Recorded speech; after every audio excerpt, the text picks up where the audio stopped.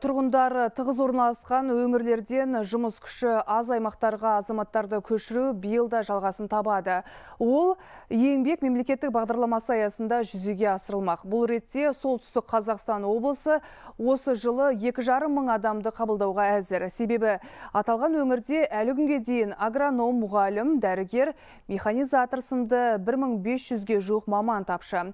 Самат Қайырденұлы сабақтасын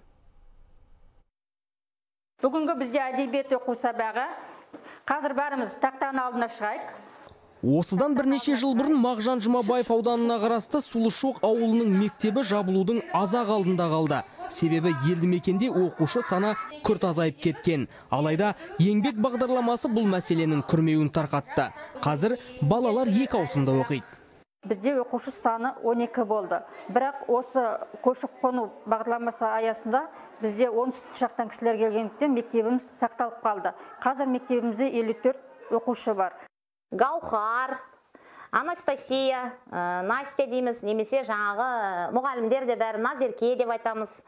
Бұл ауылға алғашылардың бірі болып Нүсіповтер отбасы Талдықорған қаласынан көшіп келді. Жеті баласы бар жанұяға жергілікті кәсіпкерлердің бірі баспана сыйға тартты. Ал былтыр олар балалар үйінен 8 бүлдіршінді қамқорлық қалып, қазір 15 баланың барлығы қазақы тәрбиемен өсіп келеді. Болашақта тағы бірнешеуін асырап алмақ ниетте.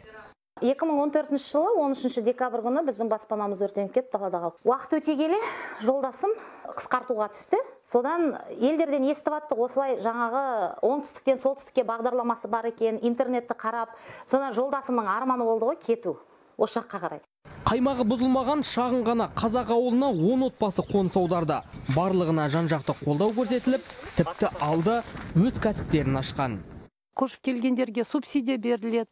Сосын жалға үйлер алатын болса арендный плата жалға ақысы беріледі. Оларға жаңа үйлер салынып жатыр.